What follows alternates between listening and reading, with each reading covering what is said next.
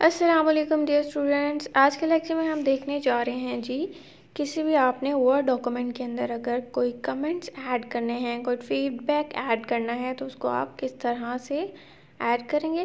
तो उसके लिए हम जल्दी से चलते हैं अपनी वर्ड डॉक्यूमेंट की तरफ़। सबसे पहले हम बात कर लेते हैं कि जी कमेंट्स कहते किसको ठीक है? कमेंट्स आप कह सकते हैं कि कोई भी आप ऑनलाइन चेकिंग वगैरह कर रहे हैं, ठीक है? डॉक्यूमेंट के अंदर आप अपनी राय देना चाह रहे हैं। वहाँ पे आप मेंशन करना चाह रहे हैं कि यहाँ पे कोई चीज़ आप ऐड कर लें या डिलीट कर रहे हैं।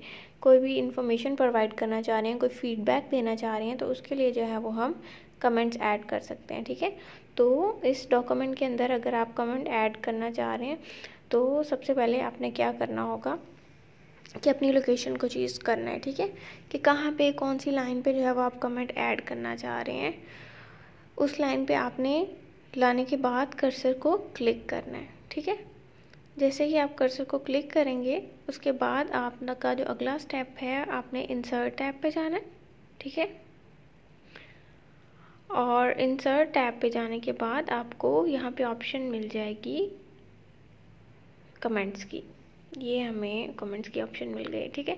इस पर क्लिक करेंगे तो आपको इस तरह की रेड लाइन नज़र आ जाएगी। यहाँ पे आपके पीसी का नाम वगैरह लिखा नज़र आ रहा है। यहाँ पे आप कुछ भी कमेंट ऐड कर सकते हैं। जैसे यहाँ पे मैं ऐड कर रही हूँ ऐड मोर फीचर्स यानी कि दो फीचर्स लिखे हैं तो थोड़े से आप और फीचर्स ऐड करें। यानी कि यहाँ पर आप कोई भी फीडबैक देना चाह रहे हैं, किसी भी लाइन पर किसी भी पॉइंट पर आप आराम से दे सकते हैं, ठीक है? एक और कमेंट ऐड करके हम देख लेते हैं, यहीं पर कहीं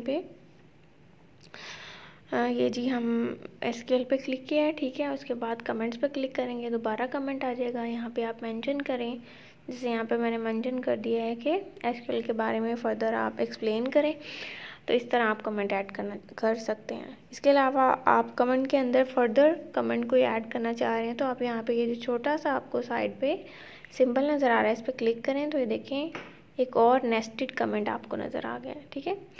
अगर आप किसी कमेंट को डिलीट करना चाह रहे हैं राइट क्लिक करें, आपको डिलीट की ऑप्शन मिल जाएगी, वहाँ से आप डिलीट कर सकते हैं, ठीक है? और अगर कोई कमेंट आप डन करना चाह रहे हैं, यानी कि आपको डॉक्यूमेंट वापस मिल गया है, आपने चेक कर लिया है कमेंट में क्या काम करने को कहा गया है, उसको आप कर चुके हैं, आप उसको डन करना है तो आप यहाँ पे कंप्लीट करेंगे। जब आप कंप्लीट पे क्लिक करेंगे तो आपको वो कमेंट ग्रे कलर में नज़र आएगा और जो दूसरा कमेंट है, वो ब्लैक में नज़र आएगा। इसी तरह आपने डिलीट करना है, तब भी आपने राइट क्लिक करना है माउस से और डिलीट के ऑप्शन पर क्लिक कर देना है। थैंक यू सो मच ये था हमारा आज का